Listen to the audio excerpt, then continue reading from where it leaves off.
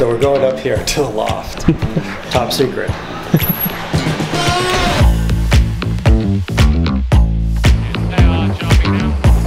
Hi, JB Braun.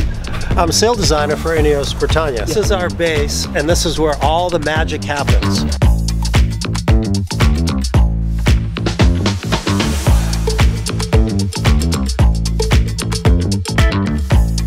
So if you can design something that revolutionizes or is used in a different way, that makes people enjoy it better or produces a unique experience, I have really enjoyed that. I particularly like designing and making things that are on the edge and defining and trying to break out of the normal limit. So we're in like uh, a high speed development path trying to get to the end for more performance quicker than the next guy. Even though you could say, oh, you're just designing a sail. Well, yes, I'm just designing a sail, but it's continuously changing and evolving. And the association with North Sails has allowed that to keep its newness or to keep expanding and designing something new.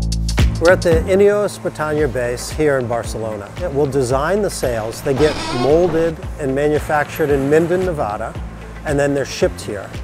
And what they're shipped here is what we call blanks, and it comes here to be finished. So on the floor here, what we do is we'll put the final trimmings on the sails and we'll incorporate all the unique design features that an America's Cup team might want to add secretive. And that all happens here. These boats don't really look like sailboats, I guess, but they're still powered by the wind. We might be going 40 to 50 knots at times, and that's all by the wind.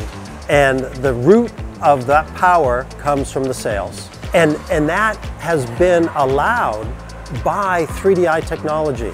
The use of the materials, the design tools, and the integration of the pieces together.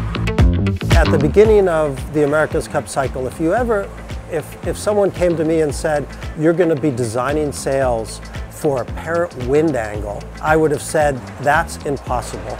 You can't do that. But here we are today doing exactly that.